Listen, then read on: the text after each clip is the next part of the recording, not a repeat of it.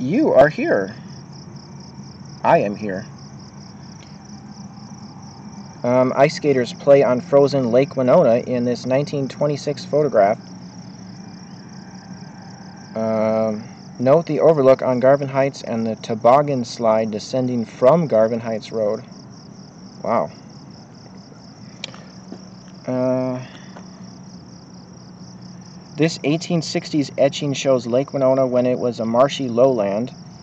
The steep peak in the background, then known as Wapashaw's Cap, was quarried for dolomite from 1886 to 1888. Today, only a single column of stone remains, called Sugarloaf.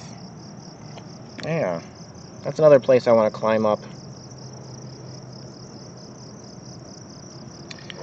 Is Winona an island? Okay, here we go. With Lake Winona on one side and the river on the other. Okay, the city of Winona seems to be surrounded by water. Not really but it is not really an island. Oh, you don't say! Lake Winona once was a channel of the Mississippi. Before the locks and dams were built in the 1930s, the river channels changed as sand and silt built up and forced water to find a new course. Okay. Settlers in the 1850s knew Lake Winona as a marshy area full of waterfowl and wildlife. Poor land management practices caused severe soil erosion and siltation of the lake during the next 100 years. The lake has been dredged several times in 1916, 1950 to 1953, and 2002 to create the causeway that separates the two lakes, then to create parkland and better habitat for fish.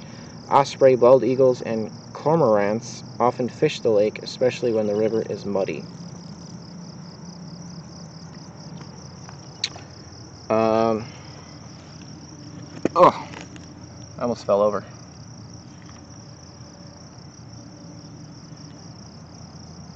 How big is the Mississippi River?